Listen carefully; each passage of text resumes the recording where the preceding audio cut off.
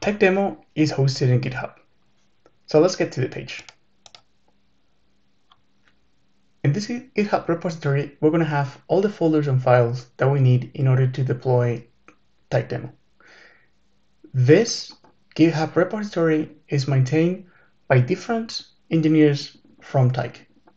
TypeDemo has a full explanation and a README file that explains how it works and how it's installed as well as the different deployments, the repository structure, and some of the important environment variables.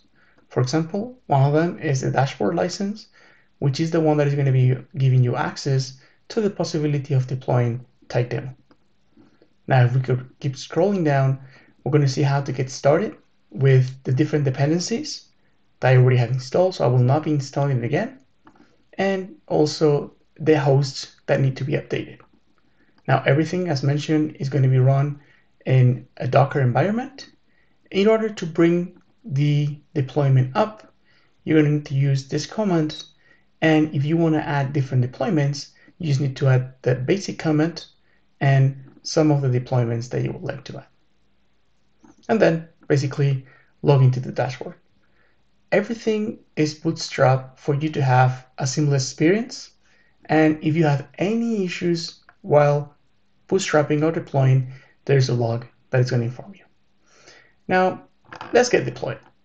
So the first thing that you need to do is go here and clone the repository. Now this is copied. All right, let me go now to my terminal in order to git clone this repository in my folder of choice. Click here. It is a fairly fast task in order to download everything. Now, in order to see what is inside and also in order to add my license, I'm going to go to my Visual Studio that I already have open and I see how my Tyk demo folder is here for my workspace. In here, I'm going to see different folders, um, the ones from the deployments. As I mentioned before, everything is bootstrapped for you and with the different Docker Compose files per deployment. So if I'll go, for example, to the single sign-on one, I can see here my Docker Compose with the different configurations, YAML file. And then the other one important file that we have is the end file example that we have here. In here, I need to copy my license. So I do have a license here. I'm going to copy it. I'm going to paste it here. This will be my license. I need to change the name of the file for it to work. So I'm going to change this file name and now I'm ready to go. So I'm going to go back to my terminal. Actually, first, I'm going to save it. Right? I'm going to save the changes for it to work. I'm going to go back to my terminal. And in here, I'm going to go to my Tyk Demo um, folder. And here, I can use the commands that I saw before. And I'm actually going to be adding this SSO. Now, this deployment is going to be taking a little bit of time configuring the different plugins.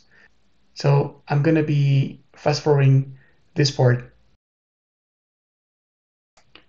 If you're already in this step, you're going to be seeing how it is building some plugins from Go. So this will take a few minutes. When you do it for the first time, it, this will happen. Then once you, if you want to do a down or an up, in, in order to change the different um, implementations and deployments, then this will already be done. So it will take a few minutes, a few seconds actually, in order to deploy it. Now this is finished, we can see uh, some of the access, well, information, its username, passwords. Um, this one that you see here is for the single sign-on.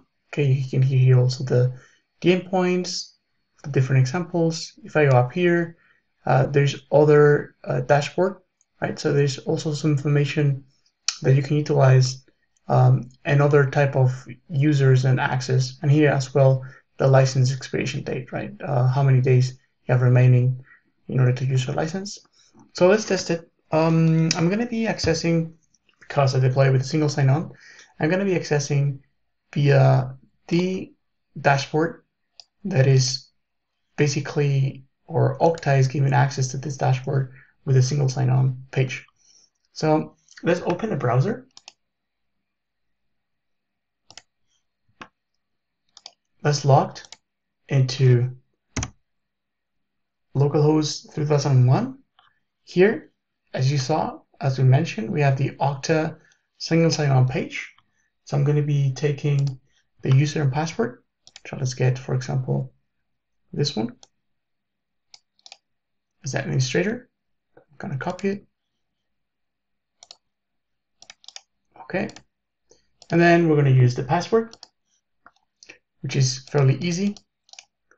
I'm going to copy it and I'm going to paste it and I'm going to sign in. Now you're going to be having access to the dashboard with all the different capabilities and features. And as I mentioned before, there is things that are already being configured. So here you find some API examples as well, some analytics that were already provided in case you want to demo that. Um, and also different keys that are there already. So we're going to be seeing more about this. For now, thank you for watching.